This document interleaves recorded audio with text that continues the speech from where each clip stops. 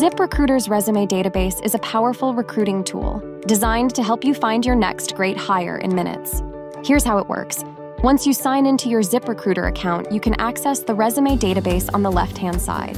To get started, click Browse Database. This is a great way to explore candidate profiles and experiment with different search terms. To get the most out of the resume database, create a project. A project is like a filing system that allows you to create separate folders for each role you are sourcing for. You can manage searches and unlocked candidates with projects to help you stay organized across different roles. Here you'll be prompted to enter the role's job title, location, and a project name to help you easily track it later. Once you create a project, an initial set of search results based on the job title and location you provided will populate.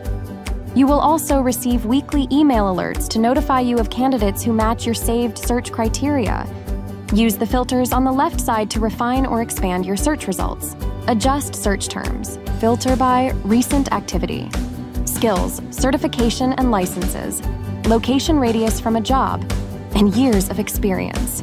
Beyond keyword searches, our tool analyzes your search to deliver a wider pool of qualified and relevant candidates.